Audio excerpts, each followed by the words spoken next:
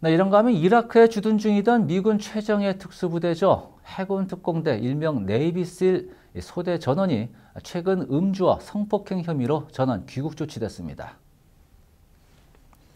네, 주류 언론들의 보도에 따르면 이라크에 주둔하는 해군 특공대인 네이비실 제7팀 산하 폭스트롯 소대가 매우 이례적으로 전원 귀국 조치 처분을 받았습니다.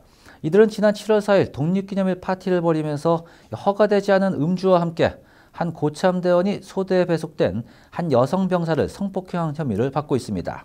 자, 미군 규정상 무슬림 국인 이라크와 아프가니스탄에 주둔하는 미군들의 경우 음주가 금지되어 있습니다.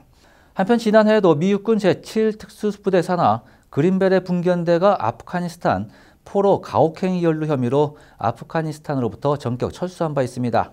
자, 이런 가운데 네이빌 사상 부대 전원이 일선에 재배제되는 경우는 극히 드문 것으로 알려졌습니다. 자, 하지만 네이비실은 지난해 약물 사용과 비행, 폭력 등 각종 추문에 시달려왔으며 얼마 전에는 버지니아 주둔 네이비실 제10팀원 간의 이 코카인 사용이 만연하다는 보도가 나오는 등 미국군의 기강에 큰 문제가 있다는 지적입니다.